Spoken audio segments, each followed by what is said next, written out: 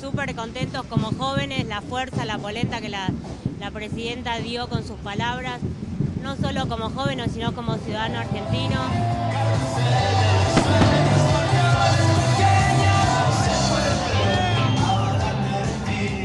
Estoy orgullosa de Cristina. ¿Por qué? ¿Por qué? ¿Qué le gustó? ¿Qué le gusta de este gobierno? Todo, todo lo que hizo hasta ahora está bien. La alegría, la juventud, todo, todo.